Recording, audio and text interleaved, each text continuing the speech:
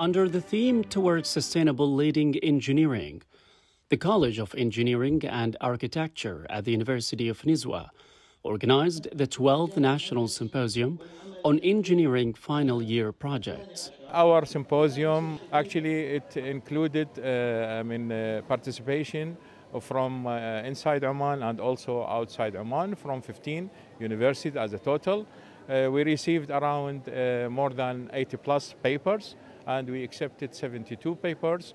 And all of these papers are, uh, I mean, uh, very good quality papers, and it is uh, dedicated for the theme, the symposium theme, which is towards sustainable leading engineering.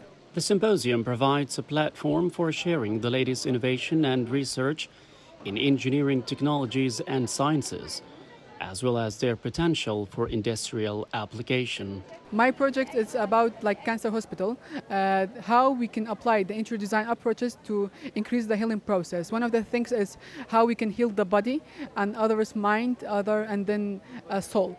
These are all goes to the different categories and we worked on details in, according to the uh, international standards of the uh, hospital standard for the architecture. And uh, these all applied and hopefully this project has been finished. And we hope to just uh, like it's a practical part. It's redesigning project. We just redesigning the Nana Kelly Cancer Hospital. And we hope to propose this project to our government to redesigning this project. Since its inception in 2011 and with the contribution of academia and industry the Animal symposium endeavors to provide solutions for various engineering related issues.